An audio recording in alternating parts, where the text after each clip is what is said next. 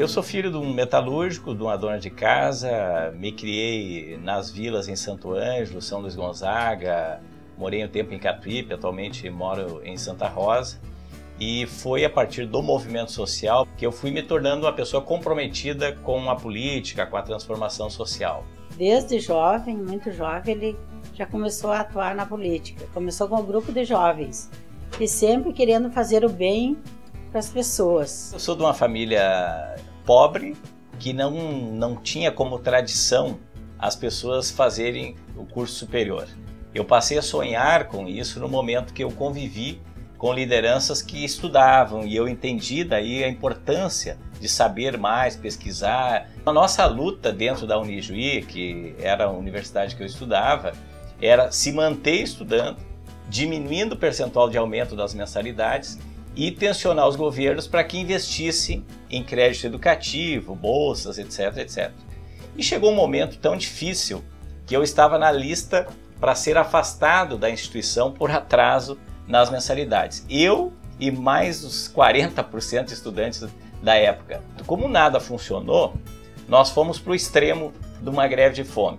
Pois chegamos a sete dias sem nos alimentar e aí isso comoveu toda a comunidade regional e as pessoas perceberam que é um absurdo estudantes da classe trabalhadora quererem continuar e não poderem por falta de dinheiro. Durante todo esse tempo de luta social, eu sempre conciliei a militância partidária com o movimento social, mas nunca deixei de militar no PT.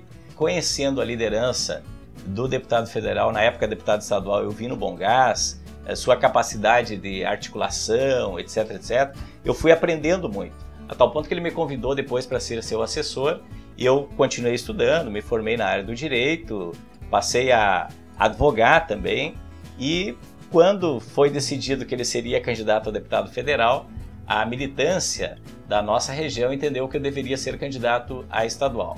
A primeira vez que eu disputei uma eleição nesse nível e tive a grata satisfação de ter uma resposta muito positiva das urnas.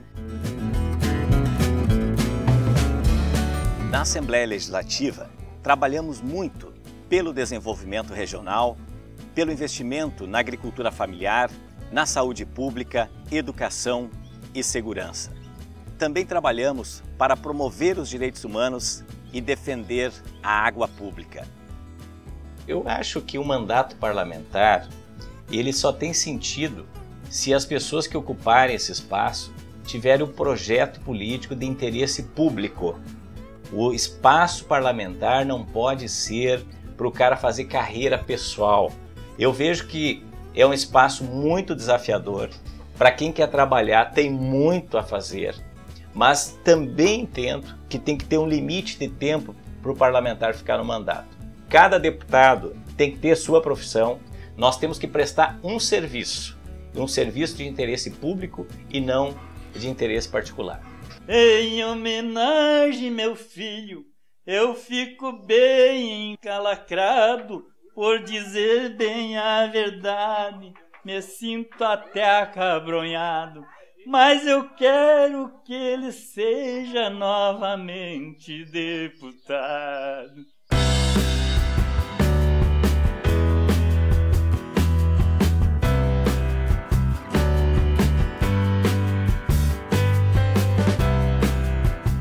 Falar do Jefferson é falar da boa política.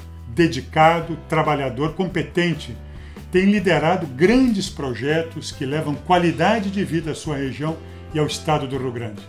E o Jefferson é nosso atual deputado estadual e a gente reelegendo-o, temos certeza que o povo lá das missões e os movimentos sociais do Rio Grande estarão bem representados. E quero dizer publicamente que eu desejo muito que o Jefferson se reeleja, porque é um quadro político consciente, é um jovem deputado que tem uma enorme maturidade política e porque teve a capacidade de defender o nosso programa de governo para que nós pudéssemos iniciar uma grande mudança na Rio Nós temos a certeza que construímos mais do que uma aliança política.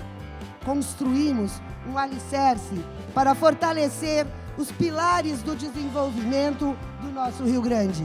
Se na eleição do presidente Lula a esperança venceu o medo. Nessa eleição, é a verdade que vai vencer toda a quantidade de mentira e desinformação semeada pelo país.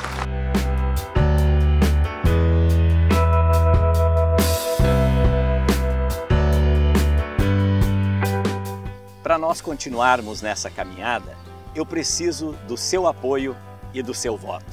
Assim, o Brasil continuará mudando, com Dilma presidenta, o Estado se desenvolvendo, com Tarso governador e o Senado da República fortalecido com o nosso galo missioneiro Olívio Dutra.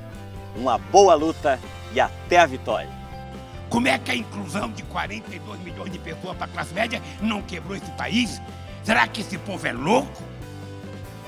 Como é que esse povo sabia fazer as coisas e nós não sabíamos? É porque na universidade que eles estudaram, eles aprenderam tudo, menos saber cuidar do povo pobre desse país, que era tratado como se fosse paira da sociedade.